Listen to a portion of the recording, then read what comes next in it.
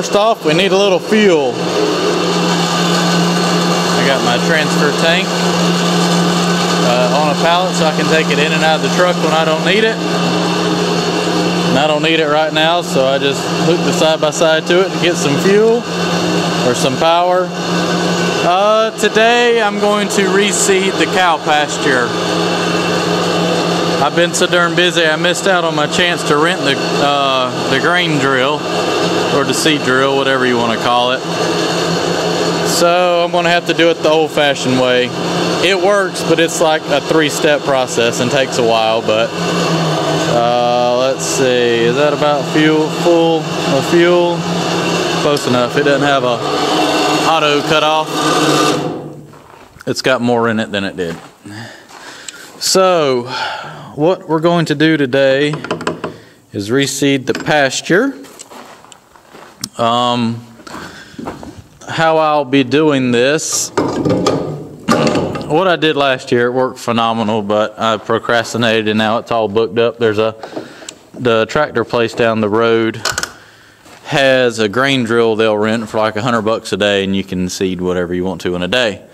And uh, uh, I've just been so darn busy. It slipped my mind and now it's all booked up and it's the perfect time now to reseed. So what I'm going to do today is take the finished mower off the tractor. I've got a landscape rake over here.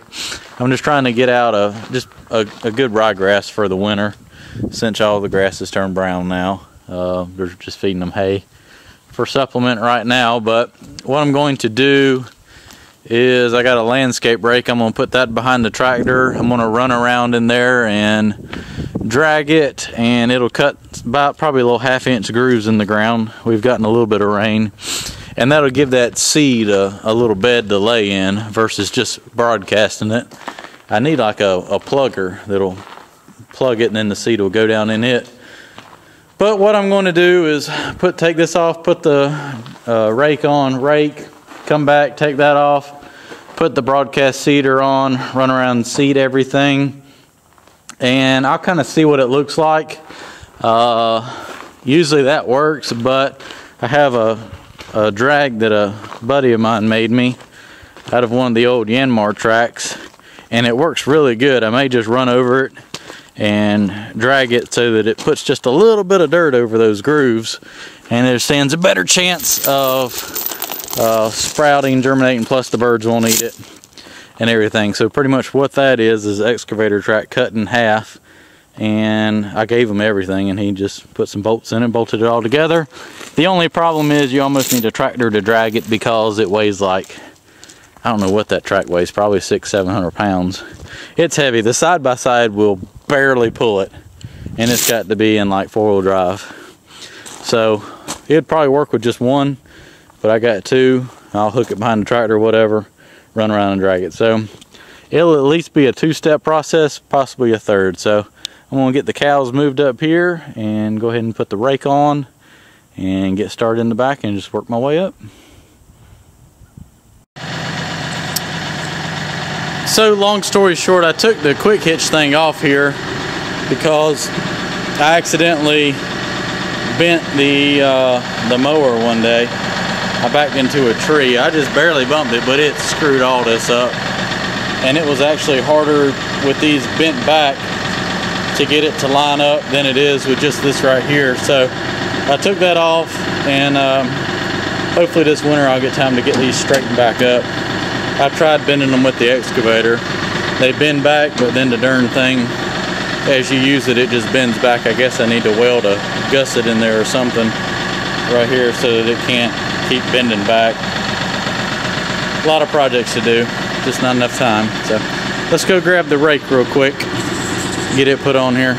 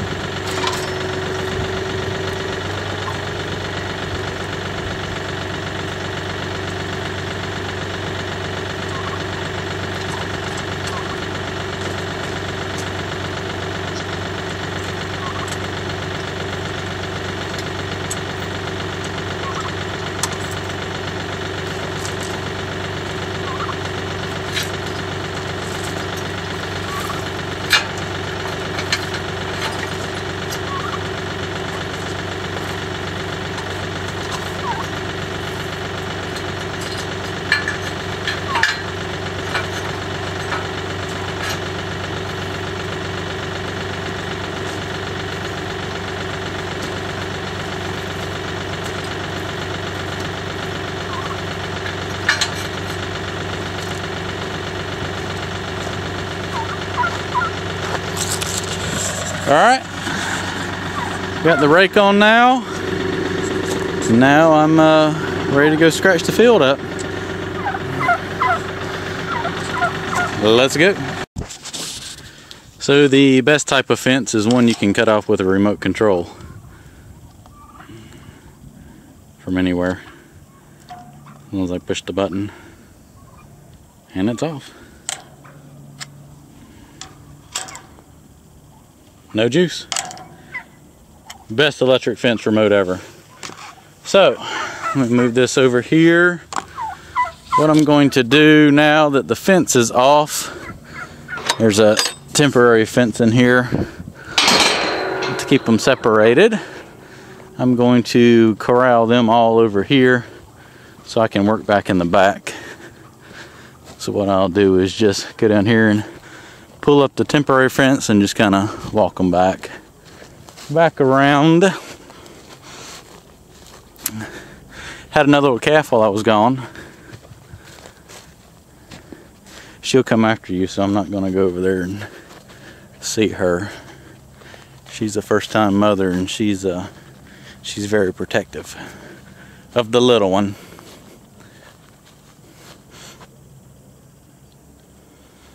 they're getting more and more friendly. She wants nothing to do with people. So, all right, I'm gonna come down here and untie this and walk the uh, fence back around. Come on. Follow the string around. Good cows. Really, I need two hands to do this. As long as I keep it tight, they won't jump over it. Good cows. We just need to go about another 100 feet past the gate. Come on. Come on. Come on. And then just kind of wrap this around the fence to hold it tight for right now. That didn't work too well. I can't tie it with the uh, one hand. Be right back. All right, let's go back a little farther. Hey, girl. Hey. Boop. All right, come on. Come on. Come on. Come on. Y'all want nothing to do with getting farther away, do you? Halo. That's a, had a little bull calf. He's a little boy. Mama's pissed. Mama's pissed. All right, come on. Come on. They know that string. All right, let's not run through the string. Good cows. All right, I'm up. Oh, well, she can go under it anyways. All right, let me wrangle them up a little bit more. All right, cows are contained. Now I can come in here and work. They've been eating the machete hay pretty good. Actually, once you get into the inside of it, it's actually pretty good. It's not too bad at all. It'll work for now. They're eating it. That's all that matters. So I'm a little leery on this rake. I don't know how well this is going to work with the broom straw grass that's out there. I'm thinking that it might kind of bunch up. So I pretty much just, I've sacrificed this part. You know, this is where they always hang out. They always have access to the water in the corral. So this area right here is probably never going to really grow grass, but I'd like for everything else to be a pretty decent pasture. And I got to work on enclosing the house before the winter. So I think the rake's going to work pretty good out here. I don't know how it's going to do back there where that tall grass is. It's probably going to clod up. I don't want to mow it because then it will, it'll just rake all that grass up and make a mess. So we'll find out here shortly how well this is going to work. We've just had just a horribly dry summer it didn't rain for like two months and it just this pasture took a toll. It took a toll on this pasture. But now that it's starting to rain and cool off we'll see if I can bring it back to life. All right moment of truth. Let's see if this is gonna work or make a mess.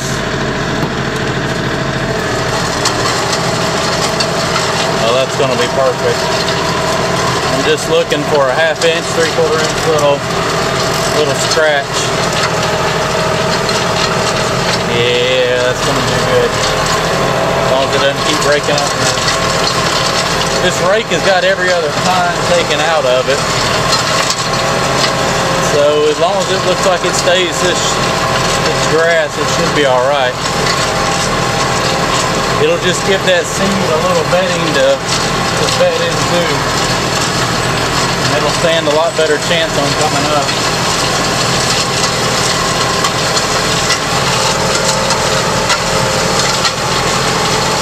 Well, this is only going to take about an hour. I wish I didn't procrastinate on that drill. I could have uh, done all this in probably 30, 45 minutes. Now I've messed around and I'm going to have a half a day in it. But such is life, such is life. I, I do believe I can put this thing in high range though.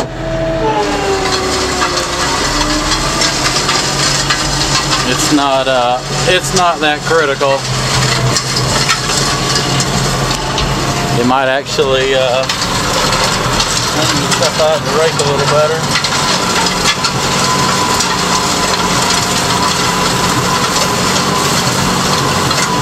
Yeah, that broke it up pretty good.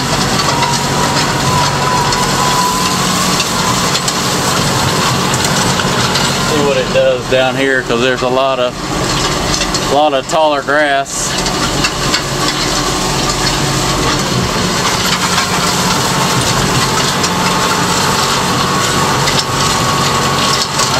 so far still just kind of raking it out. But it's still breaking it up, so that's a good sign.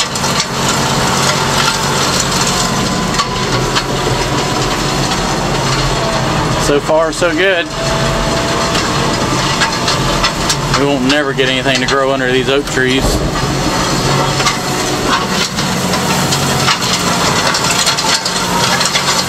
Alright, well I'm going to keep dragging away.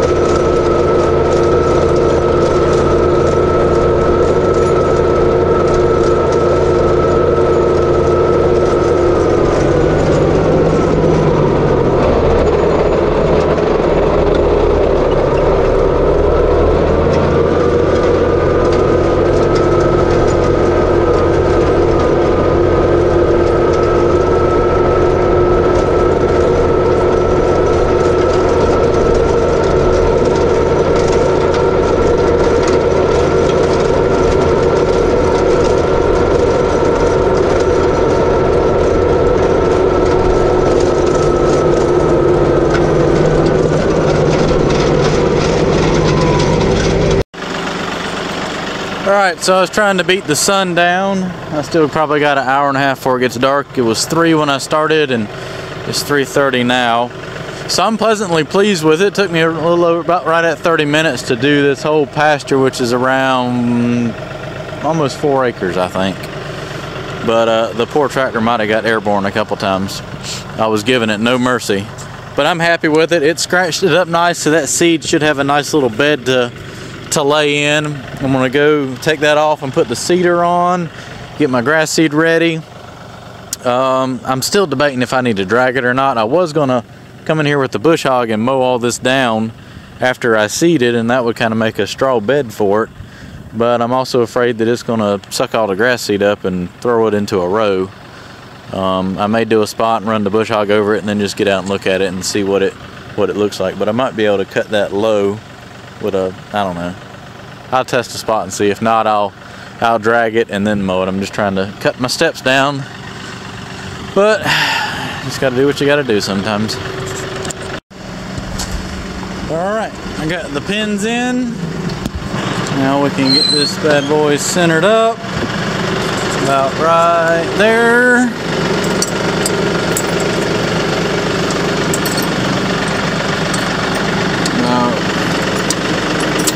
There. That'll work. Get this one put in. Back and forth. Like so. That needs to be tilted just a little bit. Extend that out. That way when it's up, it's level. I'll run it about right there. You want your drive shaft as even as possible. I'll just spin that around. Put that right there. And then twirl this around and what this will do is lock that in place so that it can't move because if not as the tractor's moving it'll bounce around and it'll either tighten up or loosen up and next thing you know it's all out of adjustment. Everything's all all out of whack. So that'll hold that in place. Good to go. So get some grass seed. All right got 100 pounds of ryegrass and I had about a I don't know eight pounds of clover left. So I mix that in there with it can get a little clover mixed in with it. The cows really like clover. So I'm going to go put this out and I got another 50 pounds and I'll have to get some more next week if that's not enough. We'll see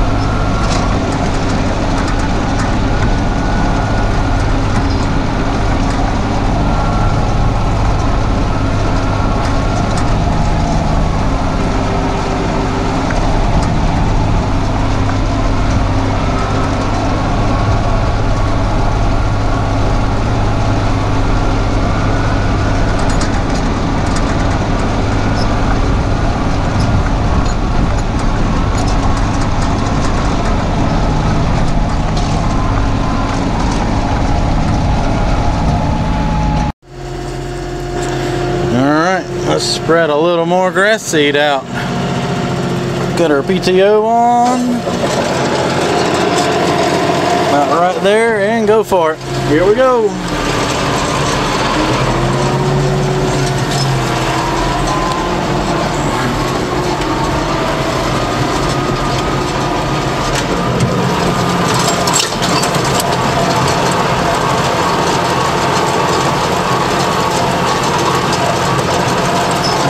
Open it up just a touch bit more. There we go. We'll have a green spot right there. That'll be the test spot. See how well it did.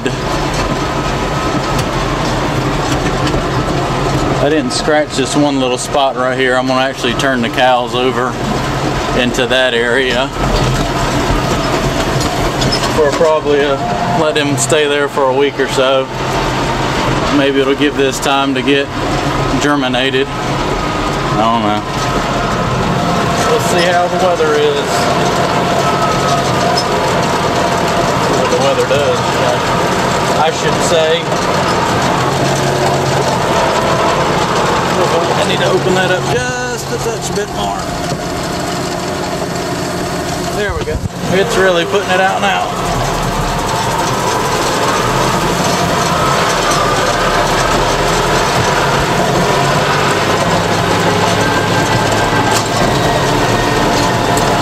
And now we got a Holley Mortal Ass. Because I opened it up really good. But we're getting a good broadcast.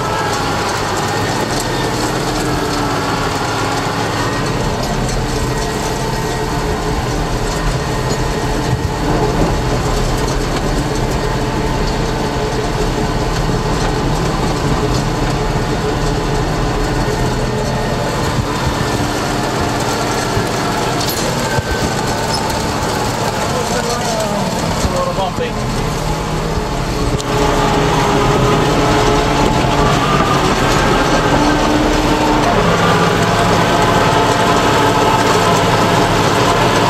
I'll probably go get a couple more bags and just go over it again.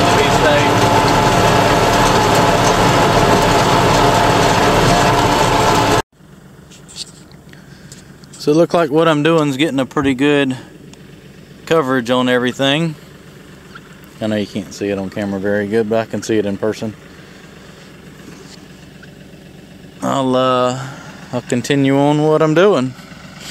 I'll probably uh, I still think it'd probably be best if I run that drag over it. I'll probably just do that tomorrow. And uh, boy, that sun's bad. And just kind of it'll bed it in a lot better, and it'll keep the birds from eating it maybe. Probably need a little bit more than what I have. I'll get some more Monday.